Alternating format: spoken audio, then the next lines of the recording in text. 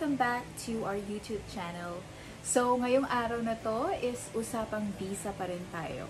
So, this video is related doon sa video regarding uh, Turkey visa. Okay? Let's say your visa got denied. Then, I'm gonna share with you uh, my experience as well. And yes, just to let you know, the very first time I applied my Turkey visa, I was denied. Okay? So, let me tell you guys what I did for me to get my visa approved. So, without further ado, let's get started. Okay, so just to give you a brief background, guys. My uh, schedule is already been fixed, actually. So, my flight was already booked. So, I am scheduled to go to Cebu Uh, this is to accompany our technical director to visit a customer there. And then the next day will be our flight to Singapore.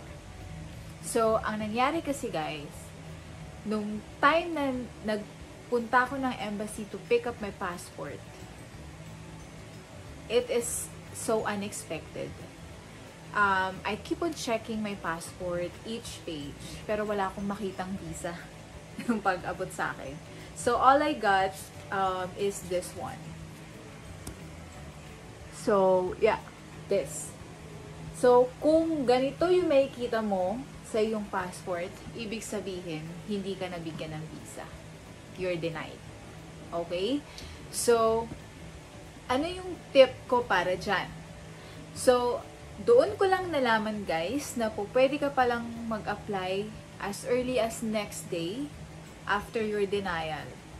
Okay? So, kung you have another set of your requirements, yung mga documents mo, kung meron ka, then you can reapply the next day. That's cool, di ba? Kasi sa ibang countries, kapag na-denied ka, you have to wait for 1, 2, or 3 weeks bago ka makapag-reapply. So, for Turkey, you can apply as soon as possible. And just to make just make sure lang guys na during your previous interview with a consul kung babalik ka for another uh, application tandaan mo lang din kung ano ba yung sa tingin mo yung feeling mo na reason kung bakit ka na denied kasi guys hindi naman nila sinasabi kung ano yung reason ng denial mo. Okay?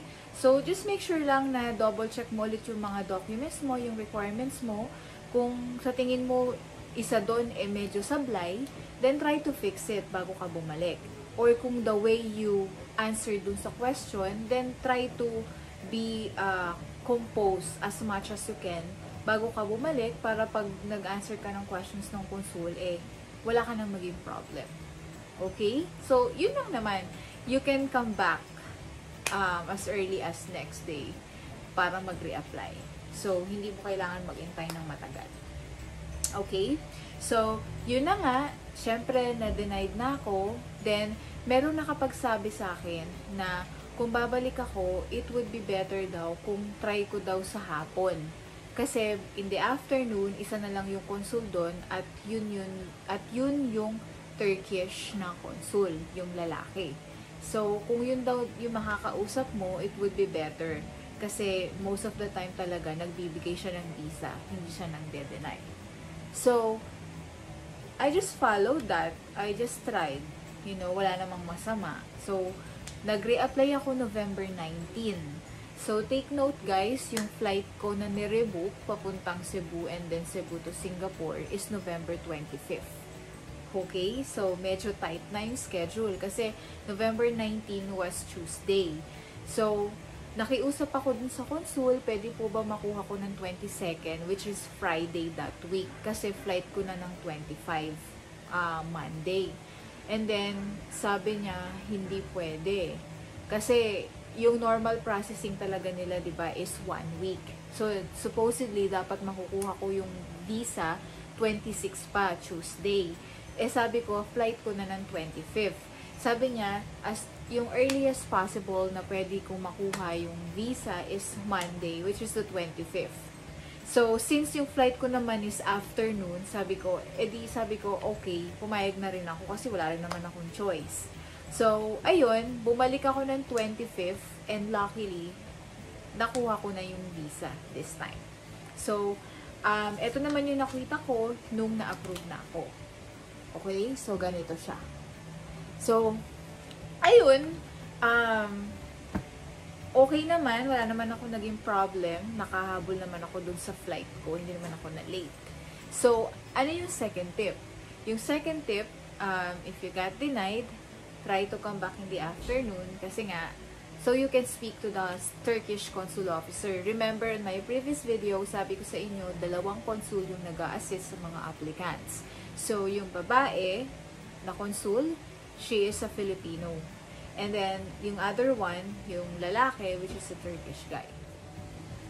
Yun guys. So, uh, if you have other questions, uh, feel free to comment down below guys. I can answer you.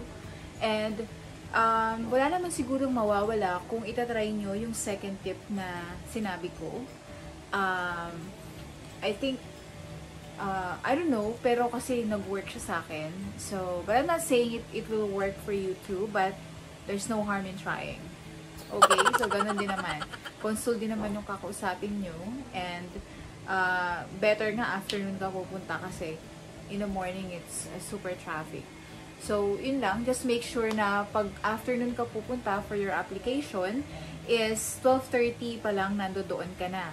Kasi 1pm eksakto, nagpapa, naghahatid na sila doon sa embassy ng applicant. So, kapag pumunta ka doon ng uh, past 2pm, uh, hindi ka na aabot.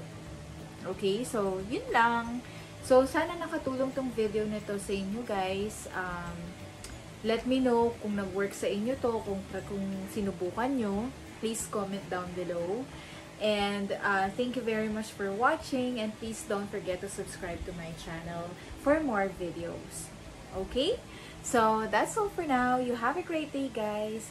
Bye!